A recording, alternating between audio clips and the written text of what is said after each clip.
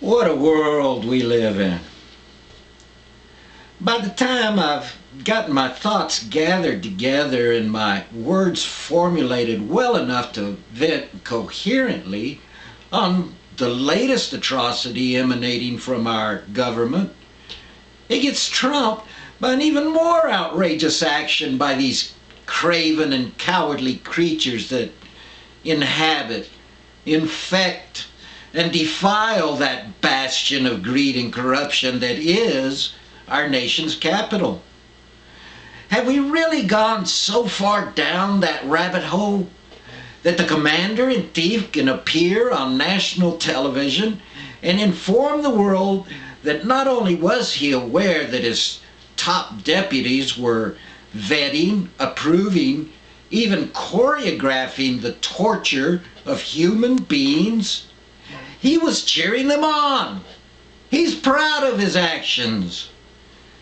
And it's not that long ago that this nation not only condemned torture, not only did we execute the people found guilty of committing torture, we executed the lawyers found guilty of telling the torturers that it was okay to torture someone else.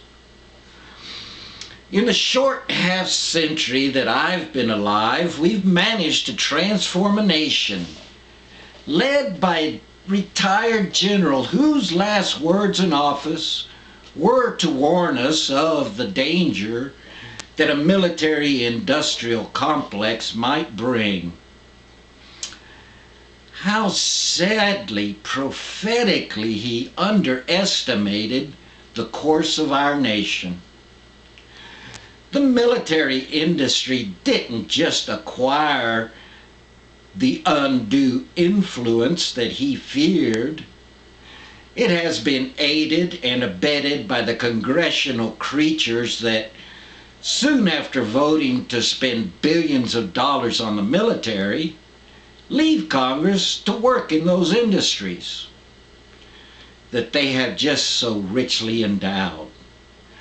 And all the while, the media are working overtime, making sure not only that you don't question, but that you join in the cheering for the next war of choice. The three so-called leading contenders, face it, the number one choice is still none of the above, which is why less than half of those eligible bother to vote. But all those three agree on one thing. That is building an even larger military machine. $700 billion is what they all want to spend on the military in 2009. Let me repeat that. $700 billion is what they all want to spend on the military in 2009. $700 billion on the juggernaut that has become the defining characteristic of our United States. It used to be that the Statue of Liberty stood as our national symbol. Now, it's a stealth bomber raining down terror from 30,000 feet. We're now the nation that, with 10,000 nuclear bombs, 5,000 of which are on missiles under hair trigger alert, yet scared senseless that maybe Iran might actually, sometime in the future, build one.